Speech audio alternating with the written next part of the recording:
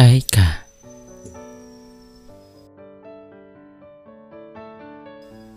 នៅម្នាក់ឯងធ្លាប់ឯកាទេឯកាមិនធ្លាប់ទេ តែបើអបសុកប្រហែលជាធ្លាប់ភាពឯកាមិនកើតឡើងចំពោះតែមនុស្សដែលនៅម្នាក់ឯងទេ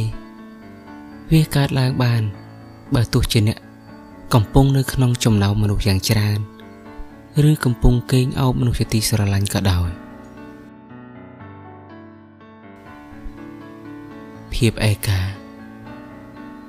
វាមិនរើសអើងស្ថានភាពជីវិតរបស់អ្នកណាឡើយវាទៅរកប្រភពអារម្មណ៍ទន់ខ្សោយគ្នាវាតែប៉ុណ្ណោះបើអ្នកណាចូលចិត្តសន្សំសម្បុកអារម្មណ៍ទន់ខ្សោយរវើរវាយអ្នកនឹងហើយជាមិត្តចិត្តសិទ្ធរបស់ភាពឯកា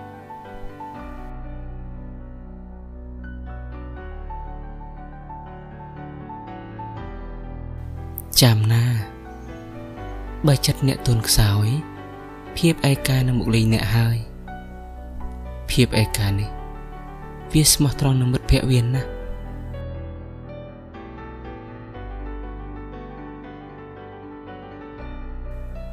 ឈប់សួរថា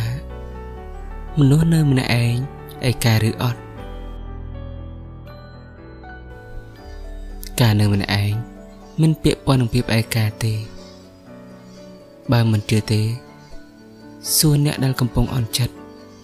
រកម្មរកោសជាមួយគូស្នេហ៍ឬមិត្តល្អៗទៅថាឯកាទេអត្ថបទអ្នកនិពន្ធរតនា